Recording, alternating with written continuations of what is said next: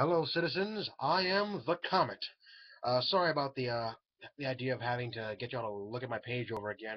What happened was apparently my old account got reported by some jerk.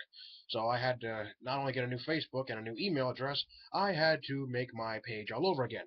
So, uh, sorry if it sounds redundant, but just to let you know, I'm back, I'm back online, and I'm doing good in my community. So, and I advise all of you to do the same. So all you are all you real superheroes out there, keep doing what you're doing. Don't give up. Don't quit. And remember, fork.